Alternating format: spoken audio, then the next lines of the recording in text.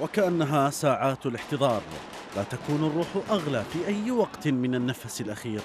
فكيف بروح تتمثل بثروات ونفوذ وسلطة وحكم بلد مثل العراق؟ لابد أن الأيام التي تسبق موعد الموجة الثانية من انتفاضة تشرين تحبس أنفاس الحكومة وأجهزتها وتؤرق الأحزاب التي حكمت العراق منذ أكثر من 16 عاما فأحالته أثرا بعد عين. على ضفة العراق يرص المتظاهرون صفوفهم ويستجمعون قواهم لاستهلال التظاهرات يوم الجمعة المقبل.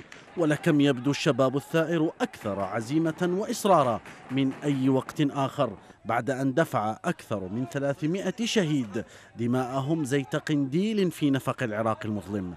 يصر المتظاهرون على أن الحقوق لا تسقط بالتقادم وأن الوعود الحكومية والتواء عنق الأحزاب السياسية لم يعد يجدي نفعه. فالمطلب واحد والشعار واحد. إسقاط النظام. منظمو الحراك قالوا إن تظاهرات الجمعة ستنطلق من القناة وساحتي الخلان والطيران باتجاه ساحة التحرير وسط بغداد. وستستمر الانتفاضة بالمطالبة بحقوقها المشروعة التي أعلنتها أول مرة ولن ترجع عنها. مؤكدين أن الرد الدموي الحكومي لن يقف حائلا أمام جموع العراقيين الهادرة ضد تسلط الأحزاب والميليشيات. غير أن الوتر الذي تعزف عليه بعض الأحزاب يبعث للخشية على الانتفاضة فالتيار الصدري وغيره أعلنوا نيتهم المشاركة في المظاهرات وهذا ما رفضه المتظاهرون بتأكيدهم أن مشاركة التيار في الحراك يأتي بهدف السيطرة عليه وركوب موجة التظاهر كمحاولة لإنقاذ الحكومة والمسؤولين. لا سيما أن كتلة سائرون تستحوذ على الحصة الأكبر من الوزارات.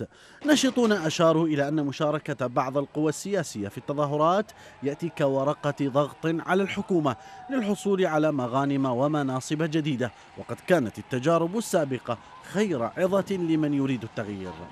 أيام قلائل تفصل العراق عن موعد قال عنه المنتفضون إنه الفاصل وساعة الصفر والحسم بالتزامن مع اتخاذ الحكومة وأجهزتها كل لوازم البقاء من انتشار عسكري كثيف إلى قطع الطرق وتقنين خدمة الإنترنت ثم قطعها وربما الاتصالات أيضا. يعد العراقيون وتعد الأحزاب والأيام ستكشف أي الوعدين أمضى.